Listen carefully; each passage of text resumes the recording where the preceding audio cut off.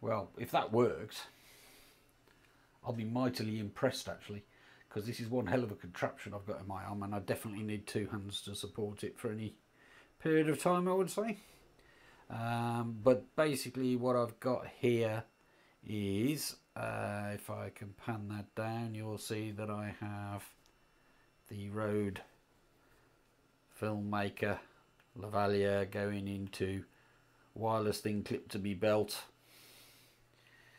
and then in my hand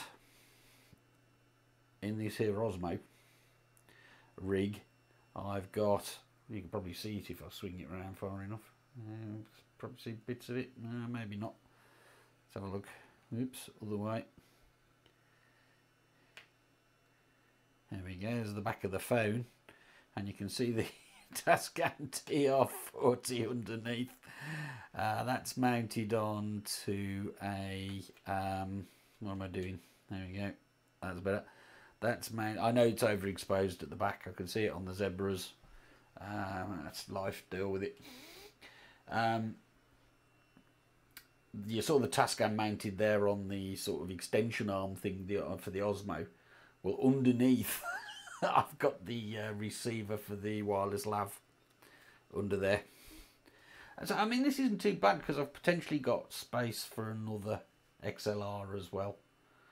Um, but anyway, this is really all about just seeing if it's usable. Tell you what we'll do as well. I'll show Matt. There's my camera. Yeah, this is really all about just seeing if the bloody workflow is usable. I think it probably will be.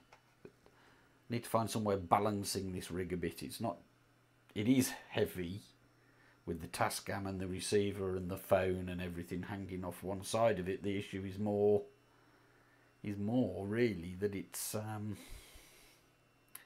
it's unbalanced. So, but if I hold it by the receiver, that seems to work okay. Yeah. So let's see if it worked.